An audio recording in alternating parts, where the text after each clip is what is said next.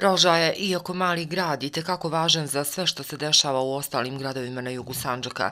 Koliko Roža je ponese glasova vladajućoj koaliciji i u tome ga slijede i ostali gradovi. Dominantno ovi u kojima žive bošnjaci i jedan dio albanaca, kao što je Plav, Gusinje, jednim dijelom Bijelo polje, oni se ugledaju na to kako će Roža donijeti odluku, pa u većini slučajeva to tako bude i sa tim ostalim gradovima. Zato i pritisak na roža je toliko velik i zato u rožajama je uvijek turbulentno. Odgovorne funkcije u opštini preuzimaju, kaže, ljudi koji su u najmanju ruku nestručni, a s druge strane nezainteresovani da se u rožajama bilo šta promijeni. Jedini im je cilj da plata bude redovna, koja sad ni to nije, da dođe prvi u mjesecu, da na računu stigne plata i to je sve što, što trenutno imamo stanje ovdje, se ulaže u jednu zaobilaznicu 22 miliona eura koji ulaže, ne znamo više niko, verovatno vlada Crne Gore,